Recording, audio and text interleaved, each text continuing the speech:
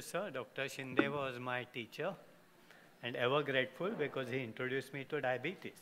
Yeah. Okay, Nita, thank you. So I'm going to talk about a story, less of science, and it's also my autobiography. And uh, basically it's driven by Paulo Coelho's famous alchemist book sort of central theme that world conspires to help you. I'm not going to tell you much about that, but I have written this in some other book, in the Confessions of a Thin Fat Indian, which I published about five years ago in European Journal of Clinical Nutrition. And again, like say many times, it's magic rather than logic, which actually tells you some things. And therefore, it's important not to actually ignore the thoughts which you get, which may be quite anti-establishment, quite anti-challenging, and that actually leads you to a number of new discoveries. So what is this thin fat phenotype? It's a comparative body composition of Indians with respect to Europeans, and I think people forget this. My original observations were all comparative, and still the phenotype is comparative. So that for a given weight or BMI, Indians have lower lean and higher fat percent and higher risk of diabetes. Starting as a diabetologist and starting to investigate why Indians have so much diabetes in 1980, that's what actually was the first major thing which I found. And this was found in B.J. Medical College, very much in this town, which is my alma mater. And this B.J. Medical College and this Sassoon Hospital are, of course, very famous institutes. And uh, in 1976, when I became registrar to the professor of medicine, I was appointed in the diabetes clinic. And they had this height stadiometer and they had a weighing scale. That time, it was measuring height in inches and weight in pounds. And we had to calculate BMI, which I had read in the textbooks, and it was in kg per meter square. I couldn't afford a calculator, so I used to do it with the log table. And first 10 patients in the clinic, and actually things were so different from what was described in the textbooks that I realized we need to do something about this. Then I went to Oxford for my training after my MD. That's Radcliffe Infirmary and my colleagues. I trained there for three years. And one of the most revealing thing was being a volunteer in various research studies. So with David Matthews doing his HOMA and John Hosker doing his CIGMA, I was a unsuspecting volunteer in both. I had six radioactive infusions to measure my glucose turnovers, etc. The most important finding was when the laboratory came back with the results. This green is Edwin Gale, very famous diabetologist. And the red one is me. Edwin was about 30 kilograms heavier than I was that and he had a body mass index of 26, I had a body mass index of 20. Despite that, I had higher glucose after drinking glucose, but much more importantly, I had very high insulin concentrations. So much so that laboratory came back and told me that you had mislabeled the samples. Because they thought body mass index would be proportional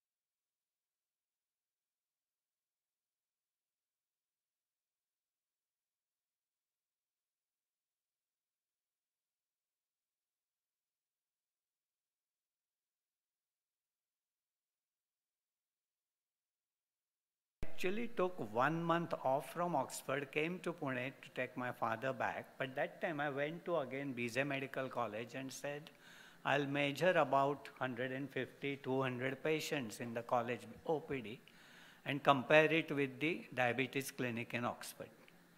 And this is something which I put together that time. It was published much later.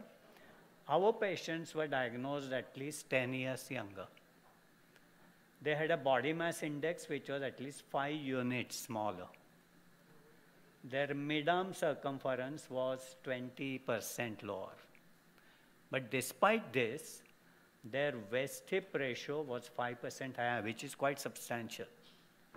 Subscapular to triceps skin fold ratio was higher. And these two things I have added later when I got a proper DEXA machine to measure fat, we showed that for each kg or body mass index, Indians had almost 30% higher fat. And this reflected that time I could find out in insulin resistance. And again, there might be some students in the audience. A measuring tape and skin fold calipers gave us all the information.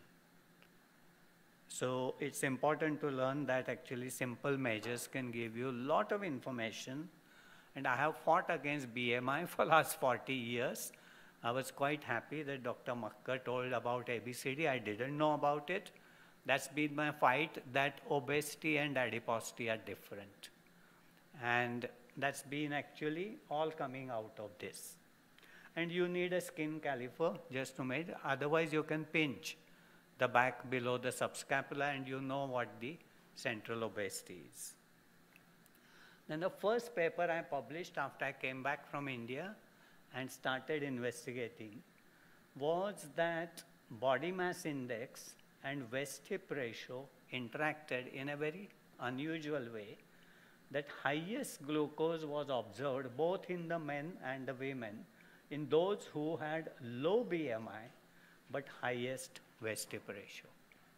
So it was the first story of thin, centrally fat or centrally adipose individuals which had the highest glucose concentrations.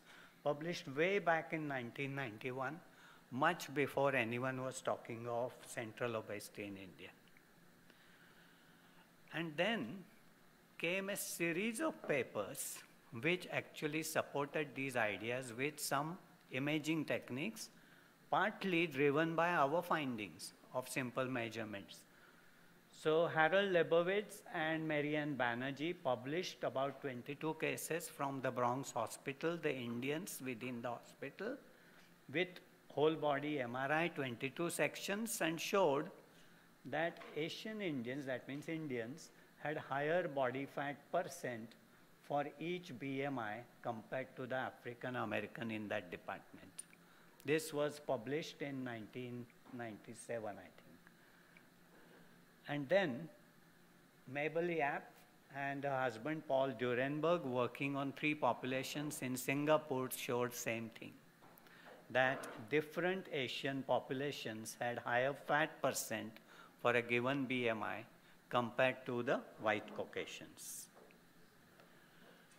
Then WHO invited this expert committee, and there were three Indians on this uh, Srinath Reddy, Anura Kurpad, and myself. This was in Singapore in 2004, and I dare say it was driven by our research. What we said was that actually giving different BMI cut points for different populations would cause confusion. And therefore, internationally, we should have standard cut points but what we would advise is potential public health action points for different populations have to be different. And that is for individual countries to decide. I really pushed for measuring body fat, but that time they thought it would be too much to introduce into clinical practice. Otherwise, it was very difficult to sell this story of thin fat. And at that meeting, when I said that I have a picture which actually says these six pages of very erudite science in just one picture, the secretary of the consultation, who was a Japanese girl, said that scientific papers cannot have pictures. Today we have infographic abstracts. So I actually got quite pissed off. And I approached the editor of the Lancet to say, I have a picture, and John Yudkin knew the editor, which explains that paper which was going to appear in Lancet. And this was a picture which actually is my only claim to fame. it was a study called Crisis. Even Anup came as a consultant to that study once to Pune. And what we had done was we said we were measuring body fat by five different techniques in our people. And we said that the investigators must undergo same investigations which we expect the participants to undergo.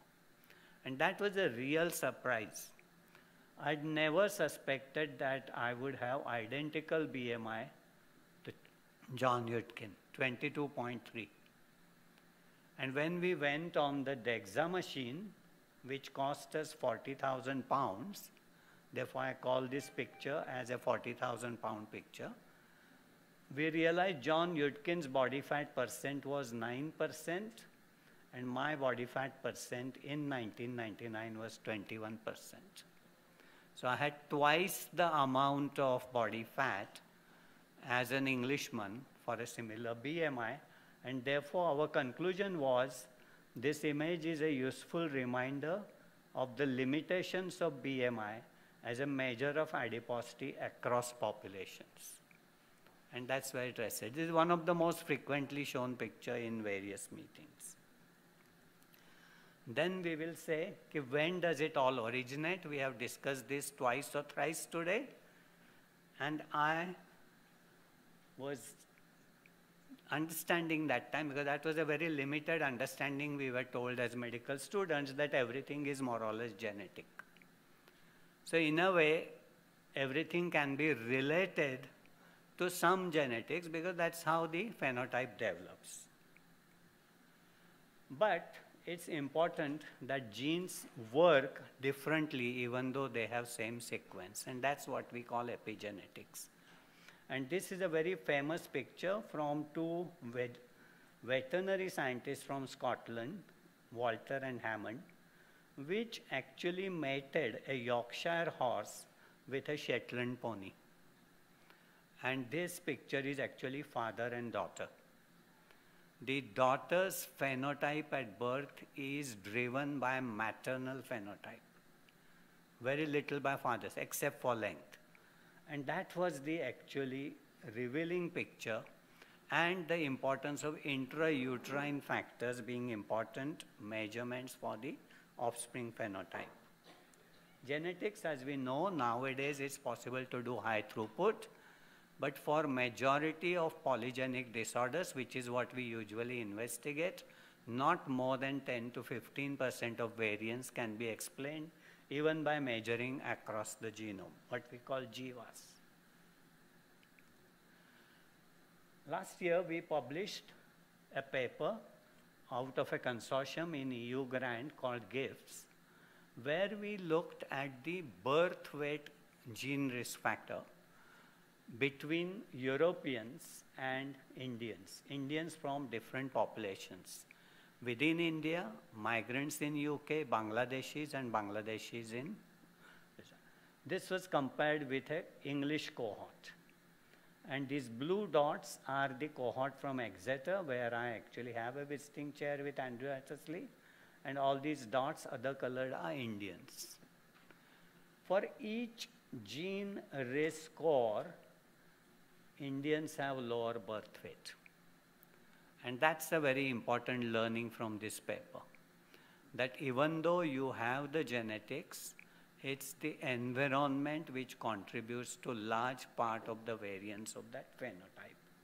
And that paper is in journal called Diabetes of the American Diabetic Association. This is for me one of the winning findings from that study.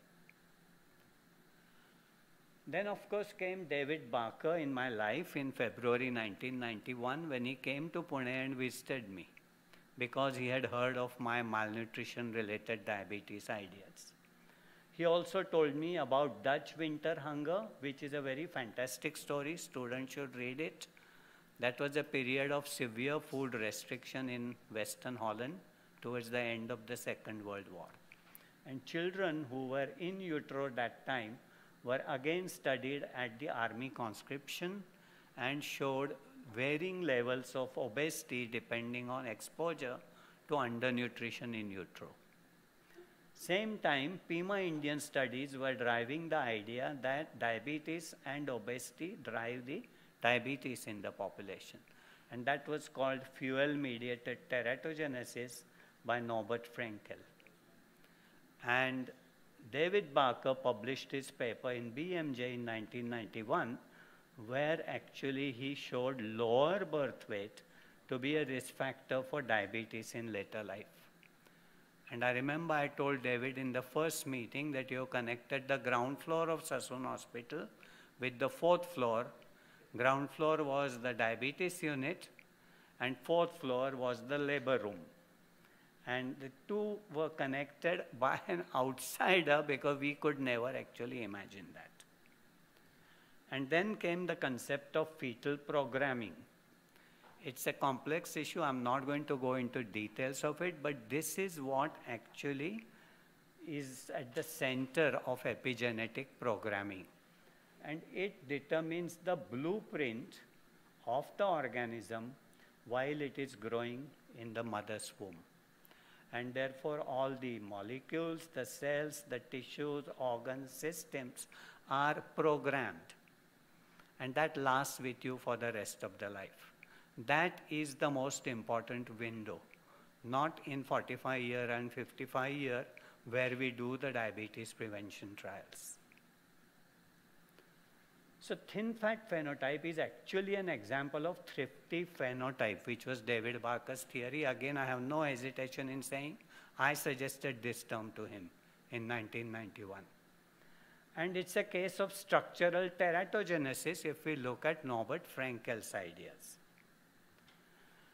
And then I set up with David Barker's guidance, Pune Maternal Nutrition Study in 1993.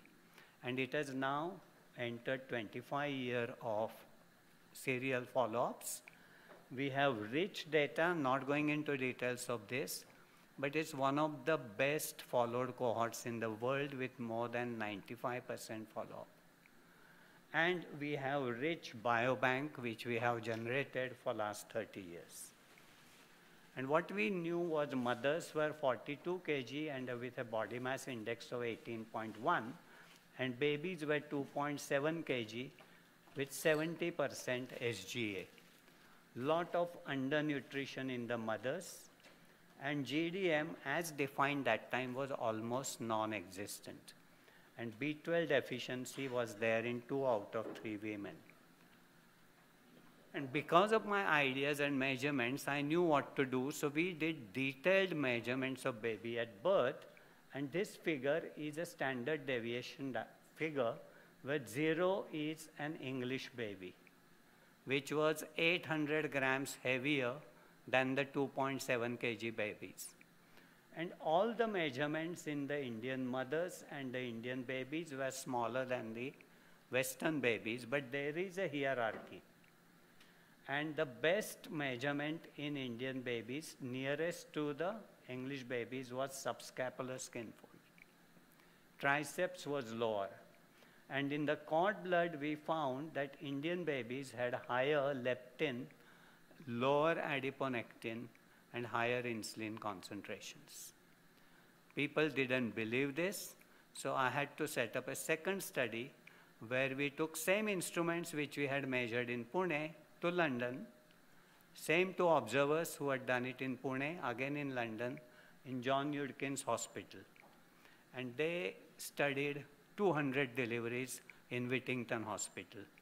This is what is called pair match uh, comparison. So we selected the babies in two cohorts which had identical birth weight. And despite identical birth weight, Indian babies were shorter they had smaller mid-arm circumference and higher skin folds. Their insulin concentrations were higher, their leptin concentrations were higher, and adiponectin concentrations were lower. And when these children became 18 year old, now we can relate their adiposity with low vitamin B, uh, D and high folate in the mother.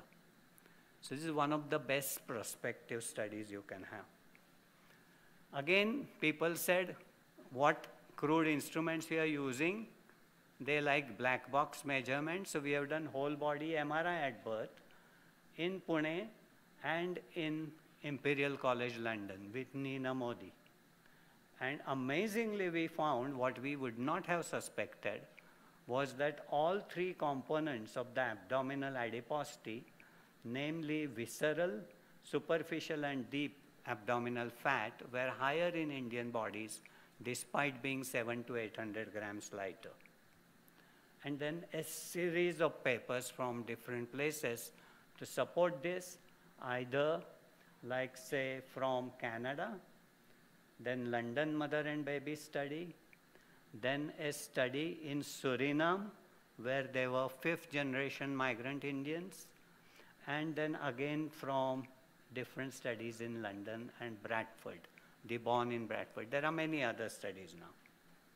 And they all showed that Indian babies had higher, some fat measurement, which was either called leptin concentrations of fat mass measured in the London study for a given birth weight.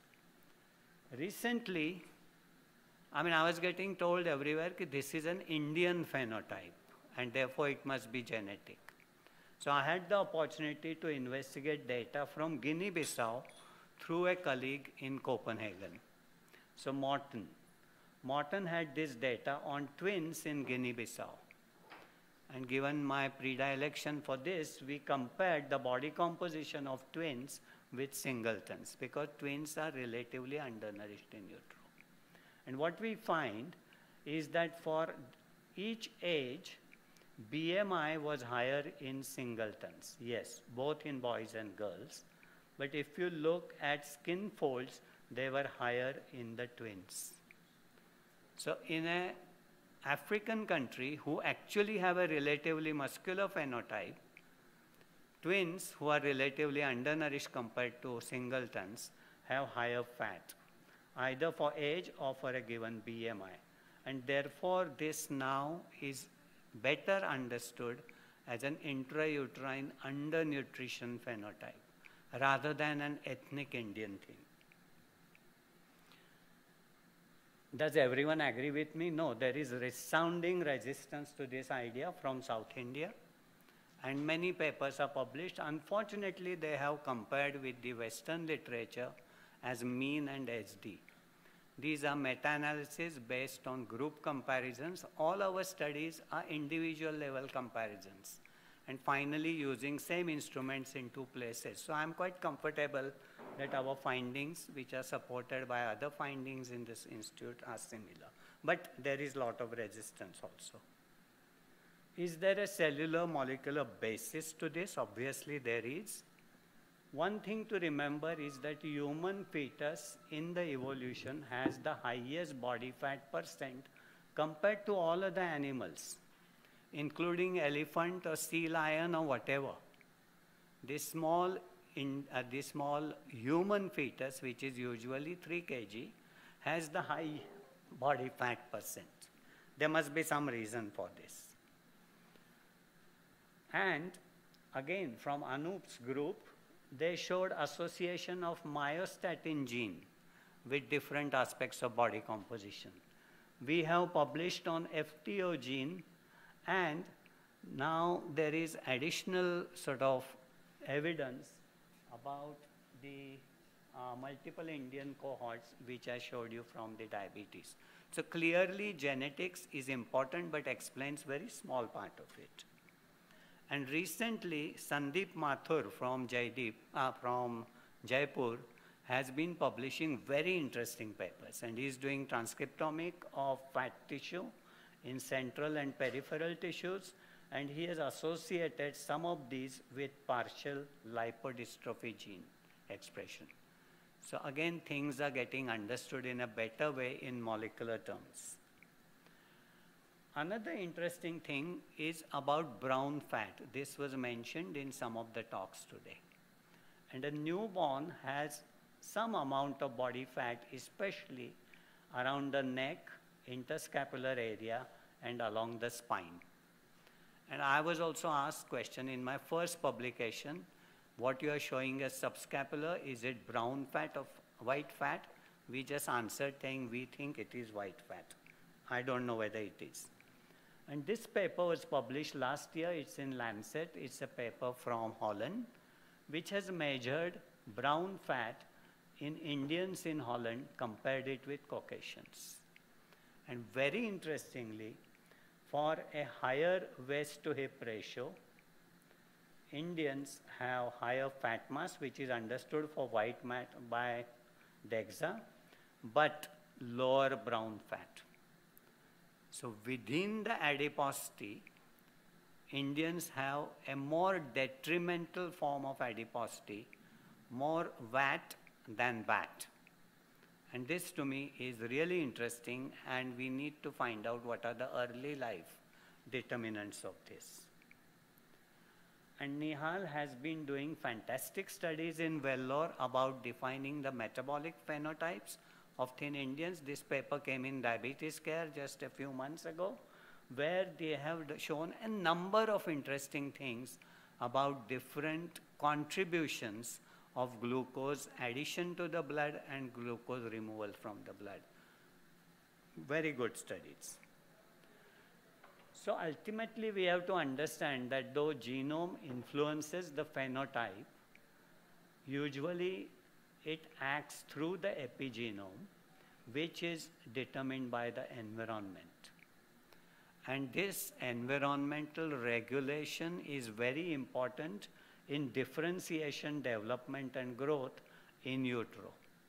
And the term epigenetics was coined by Conrad Waddington in 1948 when he was talking of this without knowing what is genetics, what is epigenetics, but his concept was genome, epigenome, and phenome. And adipocytes differentiate from the like say mesenchymal stromal cells into pre-adipocytes and adipocytes under a regulation of number of different transfer, I mean, uh, transformation factors and hormones. And that happens between 14 and 22 weeks of gestation. So that is the window when the fat is developing. We have a series of molecular studies which will now come out. We have shown differential epigenetic DNA methylation changes in the cord blood of the babies which reflect in increased adiposity in the baby not only at birth but during subsequent life, childhood and puberty. We have now transcriptome studies in the cord blood, partly actually analyzed by Symbiosis, Dr. Satyajit here, which showed that micronutrients which we found to be associated with increased adiposity are affecting the cell cycle dynamics and the G2 M phase transition.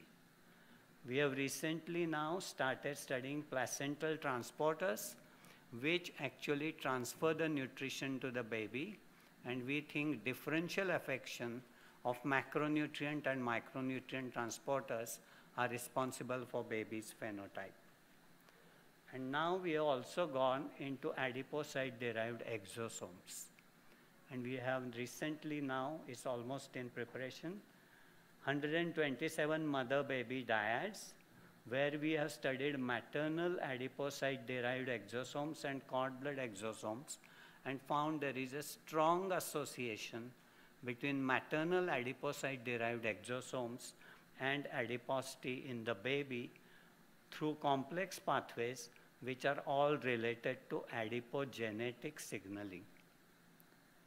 Complex statement, complex, this figure is called Sankey figure, but we are quite excited about this because we have spent last three and a half years doing this. So finally, what does all this do? So I think in one thing you know that severe undernutrition in utero, where India is the undoubted capital of the world, reflects in subsequent epidemics of diabetes and in other non-communicable diseases. And in the Pune maternal nutrition study, I can now draw this figure about lean mass versus fat mass interaction in producing prediabetes at 18 years of age. And boys who had a lower lean mass and higher fat mass have the highest prevalence of prediabetes. So this is actually my disclaimer. And that's what Voltaire said. When I said something new, they said it's not true. There was a lot of resistance to this idea.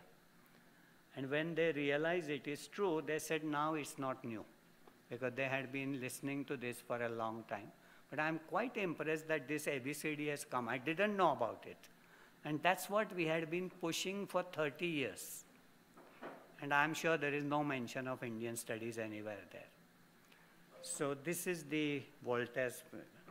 Now again, this is something quite interesting. This is the last slide.